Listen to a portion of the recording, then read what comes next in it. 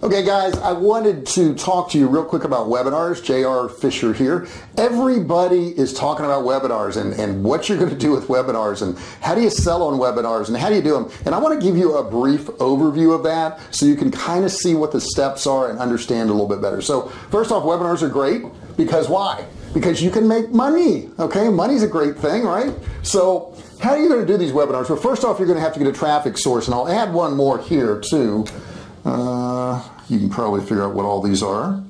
The first one is Facebook ads. You could do YouTube ads, you could do Google ads, or you could just mail to your list but you're going to drive them to a registration for your particular webinar. You need to have a series of emails that keeps them in the loop, maybe gives them some pre-information, some videos, some training, that type of thing prior to the webinar. But once you get to the webinar itself, I just want to go through the real quickly the steps in there and what you're going to need to do. The first thing you're going to need to do here, let's get a different color, okay? Is you're going to need to do an introduction, okay? So you want to say things like, hey, you know, welcome to the webinar. This is the webinar on Facebook ads. And uh, that's what we're going to talk about here today is Facebook ads. So if you're here for that, great. If you're not, you're at the wrong place. You need to leave.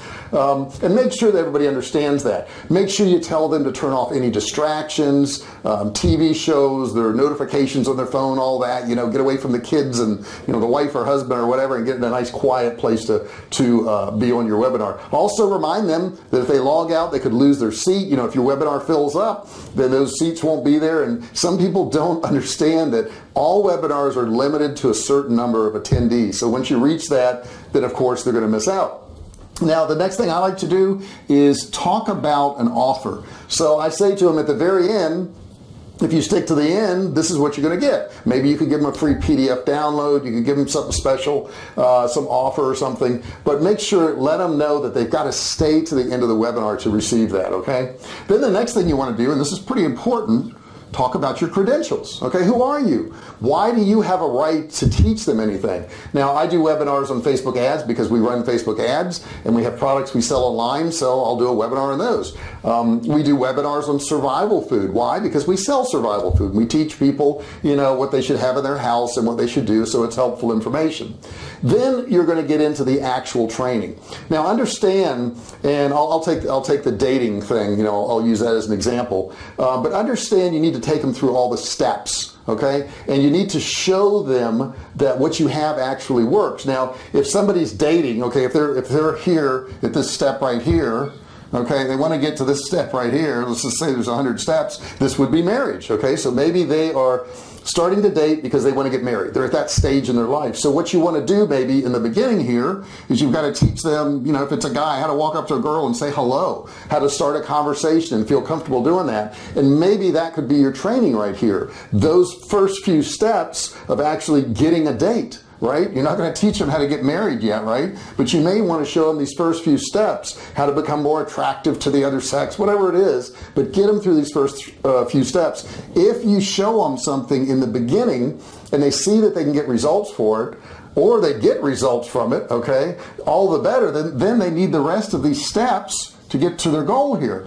And the rest of the steps is going to be your offer, whatever you're selling them, okay? So then we're going to get to the offer here. Now, when you get into the offer itself, don't just have an offer of a price. You've got to show some kind of discount, okay? They need to see a huge discount. So, you know, 96% off or, you know, 90% off and let them know that this is a one-time offer, okay? This is going to expire. This won't be on forever. So if you say to them, hey, you get 90% off on this and you leave it at that, then they're going to assume they always get 90% off. And they're going to say, well, I'll, I'll, grab that next week or I'll get that next month. And then what inevitably is going to happen is they're going to forget about it or the shine's going to wear off and they're not coming back to buy from you, okay? So you want to sell them right away. Now, at, at the end of the webinar, right here, you want to make sure you do Q&A, okay? Um, and what I like to do also is I like to jot down questions I've heard from people in case I don't get enough from the crowd and um, have those questions there. You know, they may be questions that they feel unsure about or should I do this or should I not do this? Answer those questions. And in this area right here, this is where you're going to get the most sales. Okay? Most sales right there at the Q&A area, not at the offer area, but the Q&A area, because they're assuming it's over with. You know, they may miss out at this point here. And the one thing I also like to do here at the Q&A is add a timer.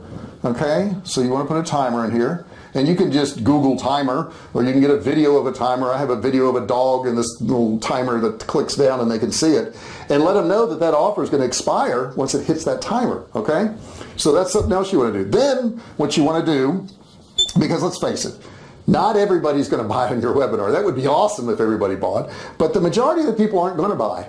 So what you need to do is you need to do a follow-up. And you know, a good follow-up is something along the lines of a countdown, and maybe it's a three-day countdown. And day one, you're going to say, hey, you know, I, I had these bonuses and you're going to miss them if you don't get this program from me. You got 72 hours to do it, okay? And the price is going to go up. I mean, there could be a lot of reasons why they should buy within that three day period. Um, and then day two here, I'm going to send them another email. I may remind them about that, or I may even add another bonus. I say, if you go ahead and grab this now, I'm also going to add this additional bonus for you if you go ahead and buy now. And then I notify them that they've only got a day left. And then on day three, I may send them three emails. Send them one in the morning, send them one in the afternoon, and then send them one a few hours before midnight and say, hey, this is expiring. Now, the important thing is that if you do have this expiration right here, you want to make sure it's real. Uh, and what I mean by that is when they actually get to that page on day four, okay, so let's say it's day four, okay, it says something like this, right? Offer expired. Okay? So we want to make sure they go to a page like that. Now you can automate this with your software. It's very, very easy to do. Um, but once they get to this page, maybe you want to have a pop-up.